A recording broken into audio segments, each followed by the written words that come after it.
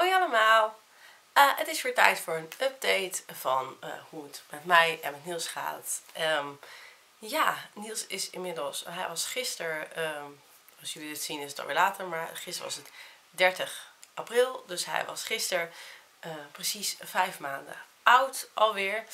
En ja, vandaag geef ik weer een update. Het is een beetje avondachtige zon. Uh, het is super lekker weer vandaag. En um, nou ja, ik dacht, het is nog een soort van licht, dus ik kan nog filmen. Anders dan moet ik het weer doen uh, op woensdag. En dan ben ik alleen. Dus dan kan ik niet, zeg maar, het is heel lastig voor mij om te timen met Niels. als hij slaapt, dan is mijn filmlocatie bezet. En als hij wakker is, dan ben ik met Niels. Maar goed, nu is hij met papa. Dus um, laten we maar gewoon gaan beginnen. Uh, ja. Uh, waar zullen we mee beginnen? Met mij of met Niels? Laten we beginnen met Niels. Natuurlijk, baby's gaan voor. Uh, ja, hij is nu vijf maanden. Hij zit in de volgende sprong, de sprong van relaties. Moet zeggen dat we er weinig van merken. Ik las daar ook een artikel over, nou ja, dat, dat er nog wat twijfel over is of nou, daadwerkelijk, uh, of nou echt, nou, echt die sprongetjes nou zo duidelijk te merken zijn. Ik moet zeggen dat wij een aantal toch wel echt hebben gemerkt. Maar goed, deze merken we nog niet zoveel van. Gelukkig. Um, hij uh, doet het goed. Um, ik heb het idee dat, dat het, hele, het hele ritme, rust, reinheid, regelmaat principe, dat dat gewoon uh, dat het goed doet voor hem. Het kon natuurlijk eerder niet vanwege die buikkrampjes. En we hebben er heel veel aan gedaan om dat, dat ritme er nu in te krijgen. En um, daar vertelde ik vorige keer al wat meer over. Maar we hebben nu gewoon een, een bedritueeltje. En eigenlijk slaapt hij tussen 7 en 11 goed. En uh, tussen 11 en 7 de volgende dag gaat eigenlijk ook wel goed. Uh, alleen merken we dat hij gewoon, hij is gewoon ontzettend verkouden met heel veel hoesten al een hele tijd. We zijn vorige week maandag, nee dinsdag naar de dokter geweest. Maandag uh, belde het kinderdagverblijf me op van joh, hij is toch wel heel erg benauwd en hij is gewoon ook niet blij. Niels is over het algemeen wel blij, maar hij was gewoon niet, niet blij. Um, dus ze zeiden van joh, hij hoeft niet naar huis, hij heeft verder geen kort zo, maar um, of hij had geloof ik, ja, het 37,5. Dus het um, en daarna had hij weer 36, 36 4 geloof ik. Dus ze zeiden van het wisselt ook heel erg. En nou, ze wist niet goed, wilde even overleggen. Ze zei, nou weet je, mijn vader komt hem gewoon zo ophalen. Ik kon niet weg van mijn werk. Maar goed, mijn vader is natuurlijk ook prima. En, uh, dus dat was wel heel fijn. Maar uh, ja, zij maakt zich daar wel een beetje zorgen om. Uh, toevallig had ik ochtends al een afspraak gemaakt bij de dokter. Omdat ik dacht, het duurt wel heel erg lang met dat hoesten. En ja, je hoort echt ook zo'n rateltje in zijn, uh, in zijn ademhaling, zeg maar. Maar goed, uh, die dinsdag bij de dokter geweest. En ja, in principe was gewoon alles oké. Het is gewoon een virus waarschijnlijk. En ja, daar is niet zoveel aan te doen. Dat dacht ik ook al. Um, maar goed, ik had de dokter gebeld. Dus ze zeiden van, nou weet je, kom maar wel even langs. Want bij dat soort kleintjes willen ze het wel graag zien. Um, dus, we, dus nou, vandaar dat we het even hebben gedaan. Hij had het nog over een pufje. Dat is omdat ik ook astma heb. En uh, nou kan je nog niks zeggen. Ik zie dat beeld een beetje. Ga ik dat wel even. Beter. Uh, nou kan je niks zeggen over de astma. Zeg maar, of die dat, dat, dat kan je niet zien bij zulke jonge baby's. Maar um, nou, weet je, het, kan natuurlijk zo zijn. Maar hij zei van het kan een pufje, kan dan wat verlichting uh, geven. Maar goed, is een keuze. Ik zei, nou ja, liever niet. Ik bedoel, ik wel zo min mogelijk medicijnen aangeven als het niet nodig is. Um, nou ja, eh, dus dat hebben we niet gedaan. Ook omdat hij er totaal geen last van lijkt te hebben. Want nou ja, hij was inmiddels alweer vrolijk. En ik moet zeggen dat hij de hele tijd er vrij vrolijk onder was. Behalve dus blijkbaar toen op het kinderdagverblijf. Maar ik weet niet waar dat aan lag. Um, um, oh, dat is ook nog wel jammer. En... Uh, een van de leidsters van het kinderdagverblijf, die uh, gaat weg. En dat vind ik heel jammer, want ik zag dat Niels er echt wel... Um, ja, ik, ik, zag gewoon dat zij een klik hadden. En dat, ja, dat is natuurlijk heel jammer als je dan... Ik bedoel, hij zit er natuurlijk pas kort. Maar ik, je zag gewoon aan hem als, hij er zag dat hij daar gewoon heel blij van werd. Dus dat is gewoon heel jammer. Um, ik hoop dat ze, ze gaan kijken of ze wel kan, verder kan blijven op het kinderdagverblijf. Uh, um, omdat ze viel in. Maar uh, ze hopen volgens mij ook dat ze kan blijven. Dus ik, dus ik hoop dat dat gaat lukken. Uh, maar ik vond dat wel heel, ja, dat vond ik nog, denk ik, oh, ik, ik, zie gewoon dat hij haar heel lief vindt. En uh, ik moet zeggen dat ik bij de andere leidsters, ik heb, haar zie ik het meest, omdat zij de beide dagen dat wij hem brengen, werkt zij. Dus de andere kan ik dat minder van zeggen, omdat ik die, die interactie minder vaak zie. Ehm, ook omdat Sven hem vaak ophaalt, dus ik breng hem. En ja, dan... Nou, dus het, nou, dat vond ik wel, dat moest ik eventjes, dacht ik, hé, jammer, maar goed, weet je, hij vindt volgens mij de anderen ook allemaal lief. En uh, ze vinden hem in ieder geval allemaal lief, dus volgens mij komt het wel goed. Maar, nou, het is, het is, is toch jammer. De eerste, ja, zijn, zijn eerste de leidster die dan alweer weggaat. Uh, maar goed, in ieder geval, hij voelt zich nu alweer oké. Okay, maar, maar dat is dus wel wat hem s'nachts uit zijn slaap houdt. Af en toe moet hij zo hard hoesten en dan krijgt hij het niet weg. En dan moet je hem echt even optillen en een beetje op zijn rug kloppen. En dan komt het een beetje los en dan, uh, dan kan hij weer verder slapen. Um, maar goed, dan, het is echt niet te vergelijken met zeg een maand geleden. Uh, waar we s'nachts nog voeden en, en waar die heel onrustig was en veel huilde. En uh, dat is helemaal niet meer. Het is, het is, hij is veel rustiger geworden. Nu denk ik weer van nou mogen we weer wat prikkels toevoegen. Want je merkt dat hij nu wel echt daaraan toe is. Um, en wat ik ook erg merk is dat hij nu begint zijn, zijn tuigje wat te storen. Omdat hij dingen wil die hij nu niet kan. Um, dus uh, net had ik echt gevoeld dat hij een beetje gefrustreerd van raakte. Dus ik had net even zijn tuigje, zijn, zijn, zijn spreidbrokje, uh, had ik even losgedaan. En dan kon hij eventjes vrij uh, bewegen. En nou, doen we het zo weer om. Doen we eigenlijk nooit. maar het kan wel, want het, hij moet er 23 uur per dag om. Nou ja, met verschonen doen we dat, dat doen wij ook heel snel. Dus Weet je, normaal gesproken heeft hij hem, ik, ik denk 24 of 23,5 uur per dag om. Dus ik geloof niet dat het erg problematisch is. Maar, nou, dus dat, dat, hebben we nu even gedaan. En ook daarover gesproken, ehm, met een beetje geluk, uh, mag over uh, twee weken zijn tuigje af. Ik hoop het heel erg. En dan mocht hij wel gaan afbouwen. Maar ik hoop echt, dat zou zo leuk zijn. Maar dan heeft hij hem vrij kort gehad.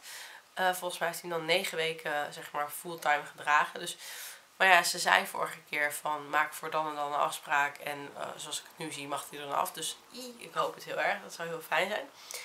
Verder, um, even kijken. Oh ja, over, nog, nog even over dat ritme nog. Ik heb een schema gemaakt. Um, ik heb gewoon even in Excel een, um, een schemaatje gemaakt. Met de dagen. En dan dit is 6 uur s ochtends en dit is 7 uur s avonds. En dan alles ertussenin qua uh, wanneer die slaapt en wakker wordt. Nou, hier gaat het wel oké en daar ook, maar hier tussen zie je dat het aan het begin heel warrig was. Maar je ziet dat het hier steeds meer ritme in begint te komen. Dus um, zo, zo zie ik dat hij bijvoorbeeld graag van half vier tot half vijf slaapt. Dat is bijvoorbeeld, terwijl hij eigenlijk zou hij daar een half uurtje moeten doen. Maar omdat hij dan wat eerder begint, denk ik, moi. Uh, en omdat hij wel verder dan gewoon daarna goed gaat slapen. En ik zie dat hij zeg maar ergens tussen kwart voor twaalf en twaalf zeg maar gaat slapen tot een uur of één, kwart over één. Um, uh, en ik zie dat hij oh, zeg maar tussen 9 en 10 ergens uh, drie kwartier ongeveer slaapt.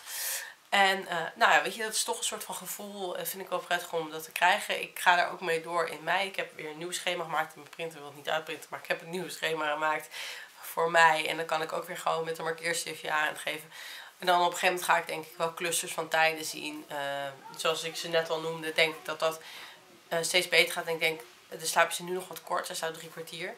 Uh, soms staat hij wat langer, een uurtje, anderhalf uur. Maar meer dan dat heeft hij echt nog nooit gered volgens mij. Dus ik ben benieuwd, behalve s'nachts dan. Maar goed, zolang hij s'nachts goed slaapt, is het prima. Dus dat probeer ik nu een beetje ook voor mezelf een soort van systeem in te ontdekken. Dan wilde ik even dit laten zien wat ik voor mijn moeder gemaakt. Dit is een uh, speelkleed. En is gewoon van, uh, dit is een wat stevigere stof en dit is een wat zachtere stof. Met kattenpootjes, van Mittens natuurlijk. En dat is gewoon een oeh, rechthoekig kleed met hier wat stiksels zeg maar, om de voering bij elkaar te houden. En het is gewoon zo lekker zacht. En dat is dus een nieuwe speelkleed. Dat wilde ik gewoon laten zien van mijn moeder gemaakt. En die dingen zijn best wel duur om te kopen. En zij heeft gewoon wat lapjes stof op de markt gekocht. En daar dus zoiets leuks van gemaakt. Dus daar ben ik heel blij mee. En um, ja, dit is wel heel fijn. Dan kan hij gewoon lekker op liggen en een beetje op rond uh, rollen en doen. Voor zover, nou, nu kan hij niet echt rollen, maar hij kan nu een beetje zo heen en weer uh, schuiven. um, nou, volgens mij was dat het wel een beetje. Oh ja, had een, uh, we waren dus bij de dokter. en toevallig de dag daarvoor ontdekten we een hele rode plek in zijn lies met een soort een beetje wittig. Dus schimmel. Um, dus uit de schimmeltjes hebben we een zalfje voor en dat geneest eigenlijk vrij goed. Um, maar het was wel grappig. het was op zondag we ze luier of zo. En toen dacht ik, joh, wel lucht, heb je een scheet gelaten of zo. Maar dat was dus gewoon de lucht die uit die infectie kwam. Heel vies. Maar goed. Ehm, ja, en dat was dus verder doen we dus nog eigenlijk alles behalve de neusspray. Doen we nog wel de ui in bed, een bakje water naast zijn bed, bed wat hoger, zeg maar schuiner. Alles om dat hoesten en dat verkouden een beetje tegen te gaan.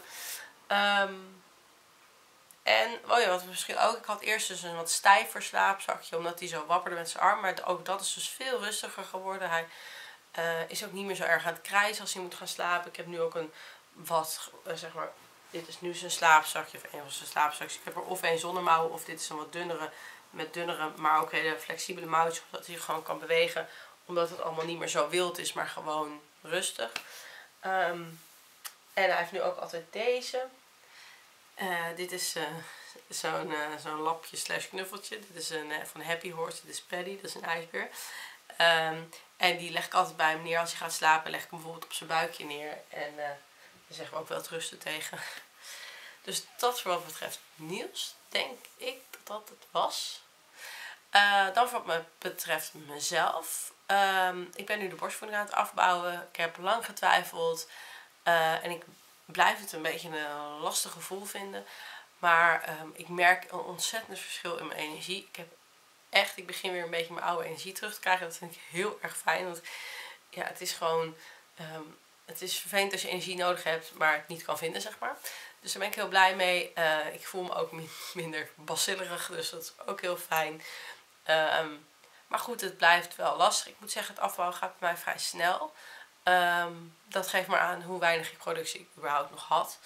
Um, dus uh, als je dat interessant vindt, kan ik daar nog wel een keer een aparte video over maken. Over mijn eigen ervaring. Want ik heb natuurlijk niet verder... Ja, ik, hoor trouwens ook wel van andere meiden natuurlijk afbouwverhalen. Dus ik kan er wel iets meer over vertellen. Maar laat maar weten. Oh, nog één ding over Niels. Hij heeft zijn eerste hapje gehad. Ja, met het afbouwen kwam dat ik ook had gezegd... Hè, zolang borstvoeding geef wil ik um, uh, wachten met bijvoeden tot een half jaar. Nou zag ik ook dat de richtlijnen had veranderd zijn. Dat ze eigenlijk vanaf vier maanden... vanaf vier maanden beter zou zijn in verband met voedselallergieën. Nou, wij zijn dus met uh, vijf maanden zeg maar begonnen. Uh, weet je, ik denk zolang die volwaardige borstvoeding heeft, dan krijgt hij alle stoffen denk ik wel een beetje voorbij. Maar ik weet het niet. we zijn maar gewoon begonnen, want omdat ik toch die borstvoeding aan het afbouwen was. Dus hij heeft gisteren zijn eerste hapje bloemkool gehad. Um, ik had een, een link doorgestuurd gekregen van een boekje van Nutricia. Uh, waarin ze heel erg stap voor stap uitleggen welk voeding je kan geven en hoe je dat dan kan opbouwen.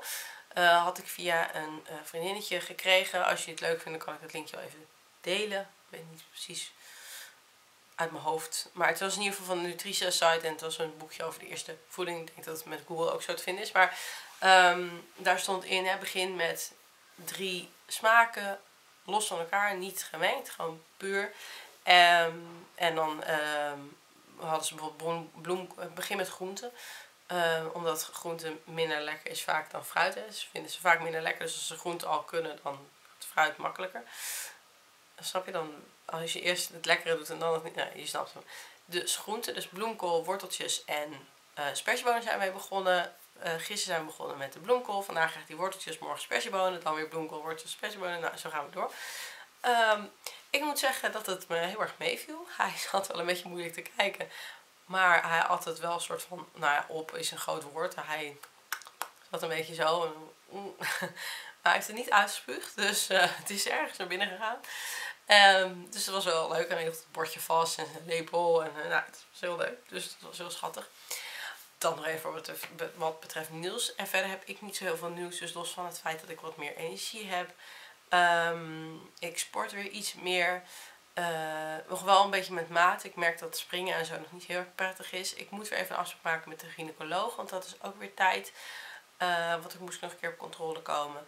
Um, ik moet zeggen dat ik bij veel sporten ook het gevoel heb dat ik mijn hechting voel. Ik weet niet of dat kan. Um, maar eigenlijk gaat het verder allemaal wel oké. Uh, ja, niet zo heel spannend voor wat betreft mij denk ik. Ik zal nog even mijn buik laten zien. Die ook volgens mij niet echt veranderd is ten opzichte van eerdere keren. Ik heb weer een shirt aan en een joggingbroek. En dat is Ernie, zeg maar, die achter mij ziet. Zo, dit is hem. Ik heb niet het gevoel dat hij heel erg veranderd is. Maar als jullie wel vinden, let me know. Dus zo ziet hij eruit. En van voren. En van de andere kant. Ja. Dat was het. Uh, ik hoop dat jullie het leuk vonden om te zien. Uh, mocht je nog zelf tips hebben. Uh, of bijvoorbeeld als het gaat om voeding beginnen. Of dat soort dingen. Laat het vooral weten in de comments over slapen. Weet je, we helpen elkaar. Ik vind jullie reacties altijd heel leuk om te lezen. En alle tips zijn altijd welkom. En ik denk dat jullie daar zelf ook zeg maar, van elkaar wat aan hebben. Dus top. En ik zou het super leuk vinden als je wilt abonneren op mijn kanaal. Elke woensdag en zaterdag komt er een nieuwe video online. En dat kan over baby's gaan, maar ook over beauty mode. Ehm, ja, dus ik hoop dat je het leuk vond te zien. En super bedankt weer voor het kijken. Doe een duimpje omhoog als je de video leuk vindt. En ik zie jullie snel. Doeg! Pigmenteerde blush en hij ruikt een beetje een aardbei of zo. Weet ik niet.